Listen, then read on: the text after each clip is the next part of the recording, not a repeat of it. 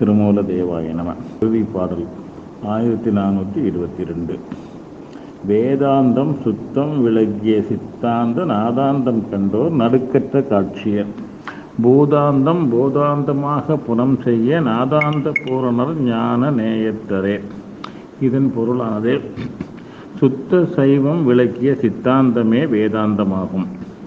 இத்தித்தாந்த நெறி நின்று நாதத்தின் அந்தமான நாத முடிவினை கண்டவர் சலனமற்று சிவத்தை தரிசிப்பர்.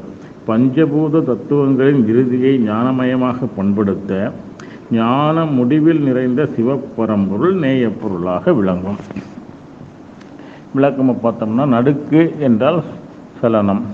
நடுக்கற்ற காட்சியர். சமஷ்டி நிலையான பிரபஞ்சத்தால் தாக்கப்படாது.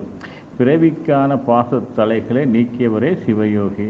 இதை திருமந்திரம் நூற்றி இருபத்தி ஆறு மற்றும் நூற்றி இருபத்தி ஏழிலும் காணலாம். பூதாந்தம் சுத்தமாயை முதல் ஐம்பூதங்கள் வரை உள்ள தத்துவங்கள். புனம் செய்ய புனம் செய்ய என்றால் பண்படுத்துவது. அதாவது காட்டை திருத்தி கலனியாக்குதல் போல் மாயை காரியங்களை போக்கி ஞானமயமாக்க வேண்டும்.